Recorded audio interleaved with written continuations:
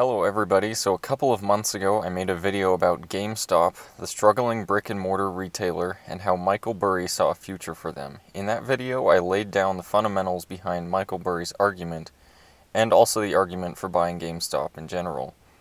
Now, a couple of days ago, Ryan Cohen, the former CEO of Chewy.com, declared from an investment SEC filing that he purchased 9% ownership in GameStop. Today I'll go through why this is a huge shift for GameStop and a real game changer, so stay tuned.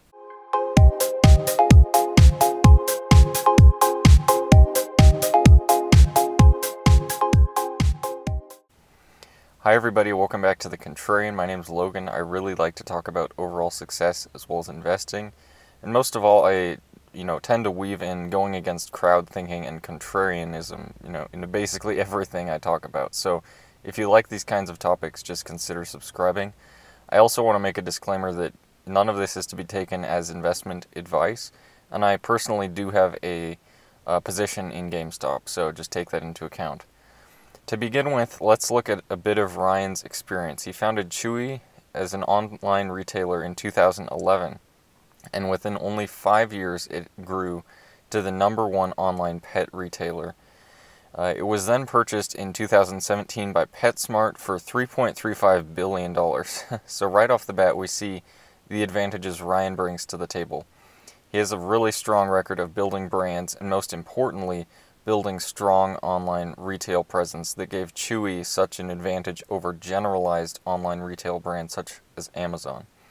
It's not that Chewy challenged Amazon in everything, but it certainly did with pet care they were just able to provide much more specialized pet care products than a much more generalized online ret- retailer like Amazon was. Now, in his recent investing filing for GameStop, he says he purchased it because, quote, it was an undervalued and represented an attractive investment opportunity. So there you have it. Like Michael Burry, he recognized the extreme undervaluation of GameStop. For example, even though the stockholder equity per share stood at nine over nine dollars, nine forty roughly, GameStop was trading at well under this for over a year.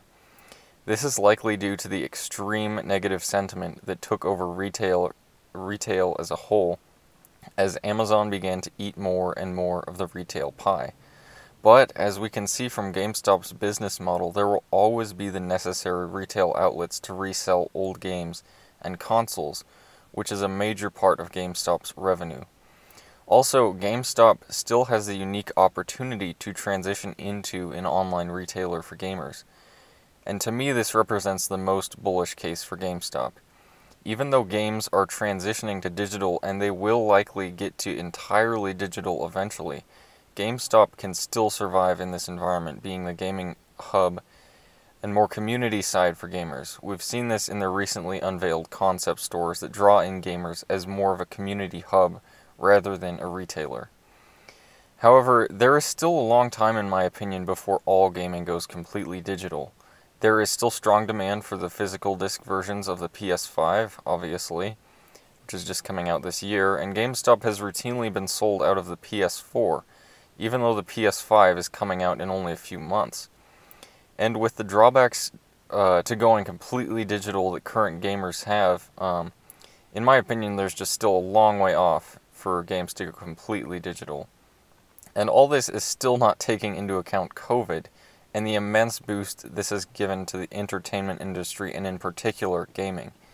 In May, online sales for GameStop rose 1,500%, and even with the reopening of the majority of their brick and mortar stores, the online segment is still up over 500% for Q2 2020.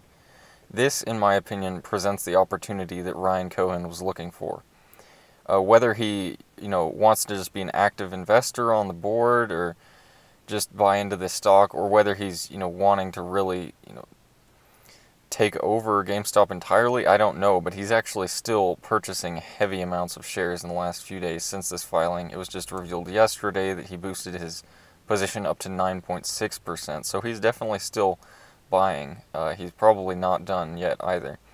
The opportunity to potentially help a brick and mortar retailer transition to a strong online presence, I think, really appealed to him while still it was obviously still being priced in for bankruptcy, as everyone was saying.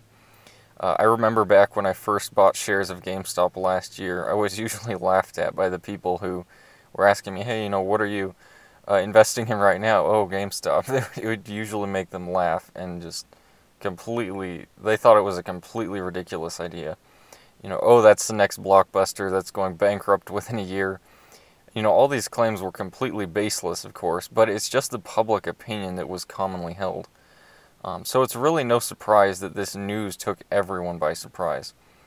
While the crowd of investors is chasing after overvalued companies such as Tesla, Apple, Amazon, Virgin Galactic, you name it, Ryan Cohen and other contrarian investors are looking for the left behind, undervalued gems of companies to get into. If you like this style of investing, consider subscribing as this is what I like to focus on. Obviously, it's up to you and your decision making whether you buy GameStop stock, and this is not to be taken as advice. But I would be not surprised, I would not be surprised at all if the share price continues to climb from here and GameStop reached at least $20 a share by the end of this year.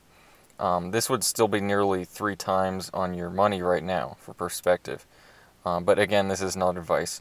Anyway, let me know what you guys think of this news and my analysis of GameStop's business. Is it a good buy? Is it, you know, a really big game changer now that Ryan's on the board? Uh, do you think that it's still going broke? Anyway, let me know what you think, and I hope to see you again.